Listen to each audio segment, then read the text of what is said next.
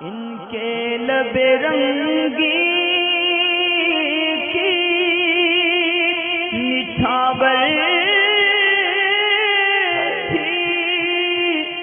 जिसने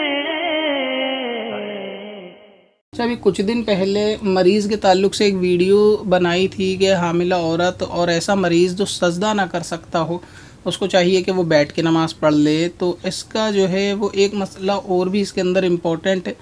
जो बताना बहुत ज़्यादा ज़रूरी है कि कभी कभी मरीज़ की सूरत हाल ऐसी होती है कि वो ज़मीन पे सजदा नहीं कर पाता, मगर ज़मीन के बहुत ज़्यादा करीब तक झुक सकता है।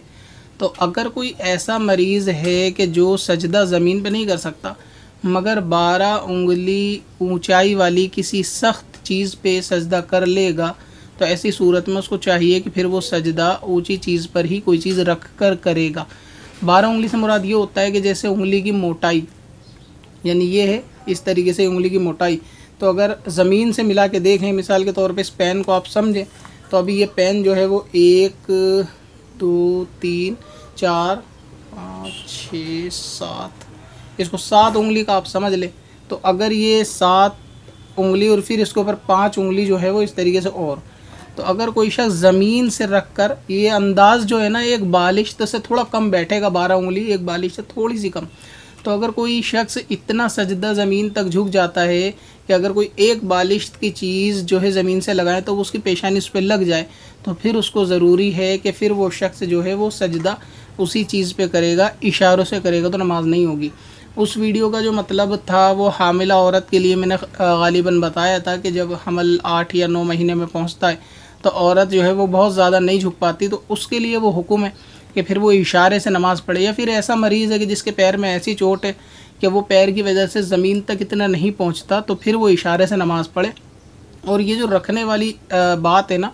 कि लोग ये समझ रहे होते हैं कि जो बैठ के नमाज़ पढ़ता है, उसको हर सूरत में जो है वो आगे कुछ ना कुछ रखना होता है, ये बात सही नहीं है।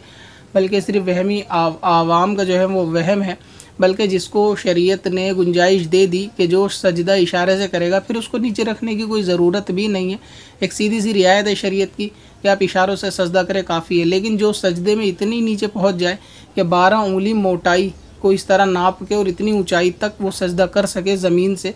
तो फिर वो सजदा उसी के ऊपर करेगा। तो इस बात का भी आप जो लोग हैं, ख़ास ख्याल रखें कि ऐसा मरीज़ या ऐसी औरत कि जो इतनी नीचे पहुँचे, उसको चाहिए कि ऐसी सख्त चीज़ के ऊपर ही सजदा करे जो बारह उंगली मोटाई से, यानी बारह उंगली तक हो। और अगर वो ऐसे इशारों से सजदा करेगा या करेगी तो उसकी नमाज़ नहीं होगी। हाँ जो इतना नीचे नहीं पहुँच सकता, फिर उसको कुछ रखने की ज़रूरत नहीं, फिर वो इशारों सजदा करे कि जैसे हामला औरत और ऐसा मरीज़ के जो नहीं झुक सकता, फिर वो इशारों से करे, वरना ये कि पहले कोशिश करनी चाहिए कि बारह उंगली की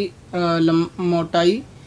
तक जो है वो कोई नीचे सजदे की जगह पे सख्त चीज़ को रख ले।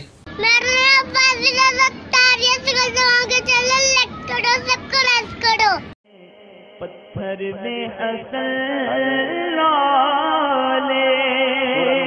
पुरन